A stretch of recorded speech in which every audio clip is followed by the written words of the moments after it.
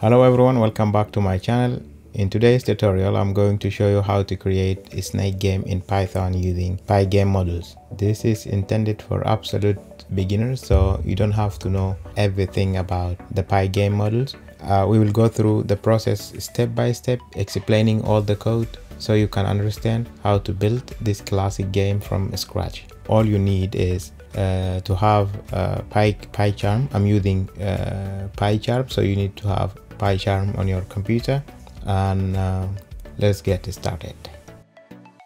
Create new project and name your project and press create. In order to open your environment and here you have uh, by default main.py you start by importing the pygame library which is used for creating video game. You can install it either with pip install or you can just press uh, install the package uh, next import the random library for generating random numbers. Start by initializing pygame. Uh, this will set everything you need for pygame to work properly. And this score is to start from zero when we start playing to write the score. And now set the screen. Uh, decide your dimension for your game window. Start by setting width and height you can decide your width and height of the screen. I'm using uh, 800 and 600 pixel. Now we need to set the screen. Uh, we need to call the pygame dot display dot set mode and we need to give the height and width in the argument.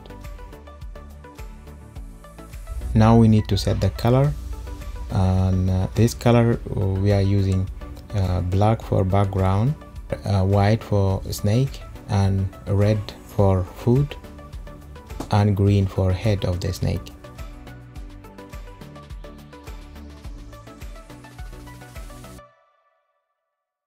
In this line we are setting snake's starting position. We are using a list of coordinates for each segment of the snake's body.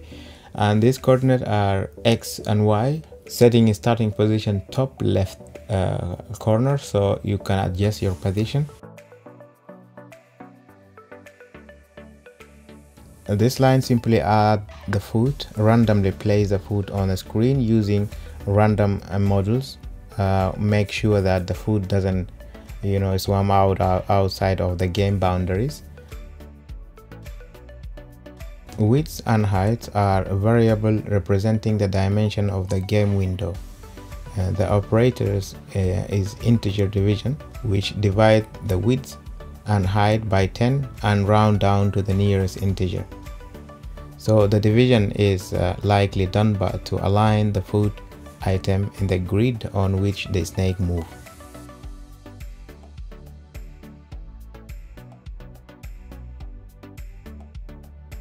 we need to set time here and the time uh, is to control game's frame rate and the frame rate is set to uh, 15 uh, you can change according to your uh, need.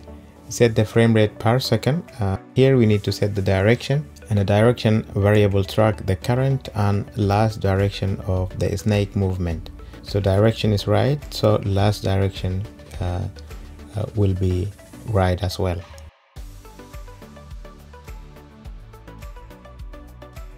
here we need to set the font.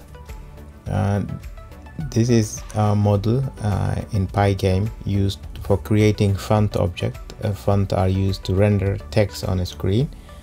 And uh, the sys font is a function the pygame.font model. It create a new font object from the system font available. So and this take the argument uh, the name and name of uh, of the font and the size.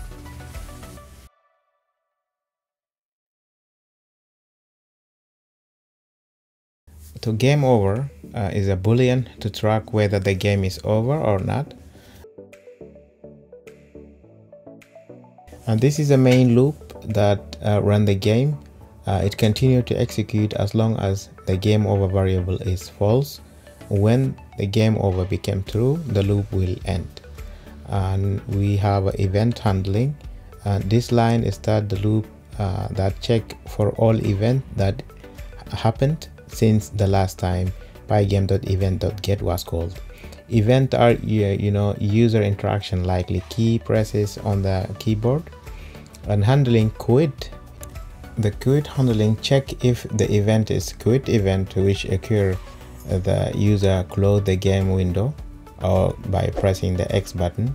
If a quit event is detected, the game over is set to true which will end the game and loop will close the game. Handling key presses, uh, this, this check if event uh, is key down event which occur when the user presses a key on the keyboard Inside this block, there are checks for specific key up, down, left, right, arrow keys, and uh, changing direction. So if uh, a statement inside the key down block, check which, which key is pressed and update the direction variable immediately. Uh, this check if the up arrows is pressed and the last direction was not down. If true, it set the direction to up.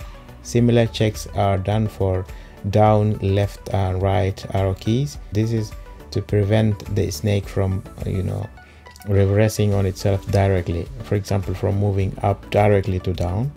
Direction and last direction variable hold, you know, direction eh, eh, hold the current direction the snake is moving and last direction hold the last direction the snake eh, was moving. This is used to prevent the snake from making illegal move, moves like moving directly backward.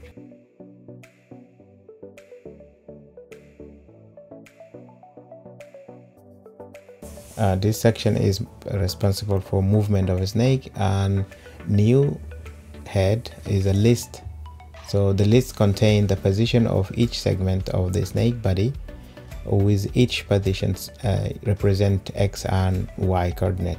So snake position 0 refer to the first uh, element of this list which is the position of the snake's head and list snake position 0 create a copy of head position. This is important because you want to modify uh, this copy to create a new head position which, without altering the current head position. So and updating uh, the position of a new head, the snake movement is controlled by changing the position of its head. The rest of the body follow the head. So the direction of the movement determined by direction variable which can be uh, up, down, left or right. Uh, the movement logic, uh, the snake moves in increment of 10 pixel as indicated by uh, the plus equal 10 or minus equal 10 so if direction is up the y coordinate of the new head is decreased by 10 pixel uh, moving uh, the head up if direction is down the y coordinate is increased uh, by 10 pixel. New head equal plus equal 10 moving head down. If direction is left the x coordinate is decreased. And if the direction is right the x coordinate is increased by 10 pixel. The result is after the code executes the new head contain the updated position of the snake head based on the current direction of the movement. The new position will then be used to update the snake position in the next line we are going to insert the new head position.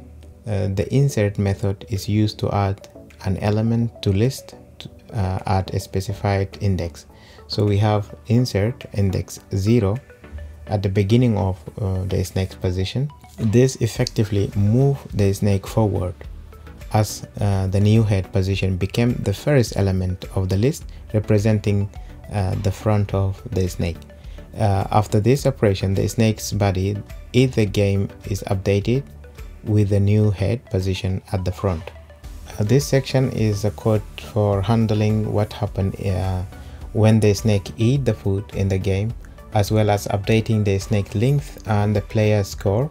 If the snake position is uh, 0 uh, equal to food if this line check uh, if the position of snake's head uh, is the same as the position of the, snake of the food if they are the same, it means that the snake has eaten the food. The snake eat the food, the player player's score is incremented by 1. This line add uh, 1 to the current value of score and uh, this line after the snake eaten the food new food is needed to be placed on a screen and this is generated randomly position food that position of x and y coordinate uh, within the boundaries of the screen the random range function is used to ensure that food appear in the location uh, that align with the grid on each snake's move. So snake's links here if the snake has eaten the food uh, the head position is not the same as the food position. The last segment of the snake's body is removed using pop and this is crucial for the movement of a snake. When the snakes move and doesn't eat the food its links should remain the same. Therefore while a new head position is added to the front of the snake, the last segment tail is removed. Now this part is uh, handling the scenario where the snake hit itself, uh, resulting the game over condition. Uh, check if the head of the snake in the same position as uh, any other part of its body. The list include all element except the first one, the head. This represent the body of the snake. Uh, if the the head position match any uh, part of body it means that the snake has collided with itself and setting the game over true self collision is detected. The game over variable set to true this will eventually break the main loop. The game over displaying the text uh, you hit yourself. The text font render game over uh, and with the red color. Uh, this create a text surface with the message game over. Uh, this line draw the text surface uh, onto the game screen at the specified coordinate. Uh, the coordinate width for height 3 are used to position the text you know roughly in the center of uh, the game. So flip uh, dot display flip this update the entire screen with everything that being drawn on the screen surface it's effectively display the the game over message uh, you know pause the game uh, you can set uh, into millisecond uh, like giving like two second here giving the player time to read the game over message. In this section we check if the snake hit the wall. And the line check if the snake head uh, has collided with any of the wall uh, of the game screen. The new head greater or equal to width check if the snake head has gone past the right edge of the screen and smaller than zero. Check if the snake head gone past the left edge and new head 1 greater or equal to height. Check if the snake head has gone past the bottom of uh, bottom edge of the screen. And new head 1 smaller than 0 check if the uh, uh, snake head has gone past the top edge of a screen. If any of these conditions are true it uh, means the snake has hit the wall and setting the game over true. This line set the game over variable true indicating that the game is over.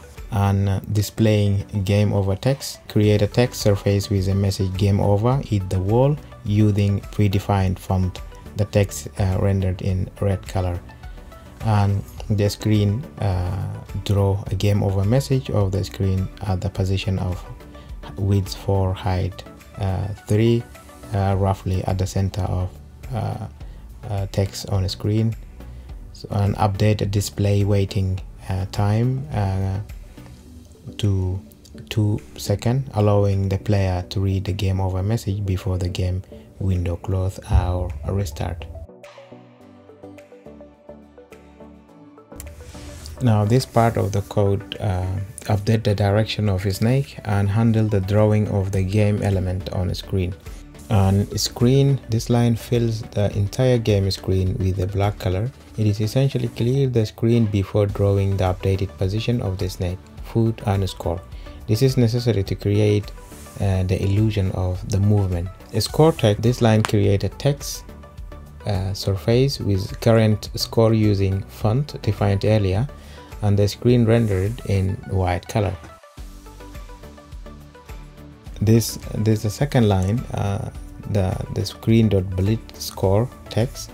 This line draw the score text in this, uh, on the screen at the top left corner, uh, setting 0 uh, y0 x coordinate.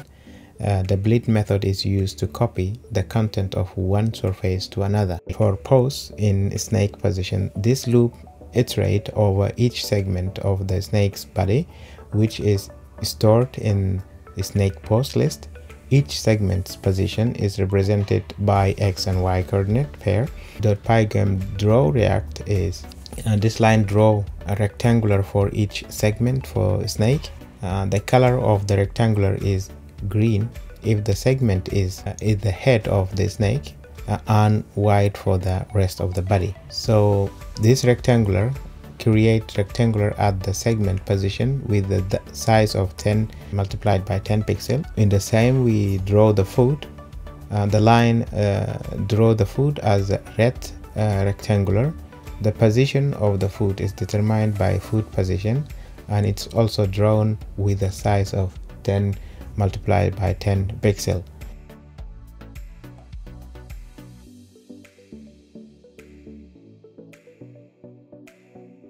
pygame.display so the command update the entire screen with everything.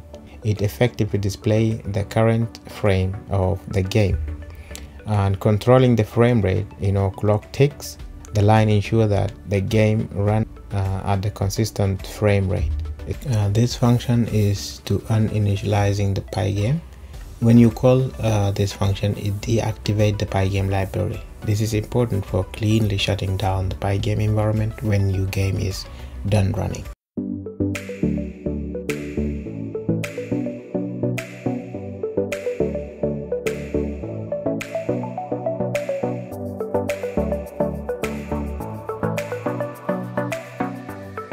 And that's it. This is exactly how your snake game should look. I hope you enjoy playing it as much as I enjoy creating this tutorial.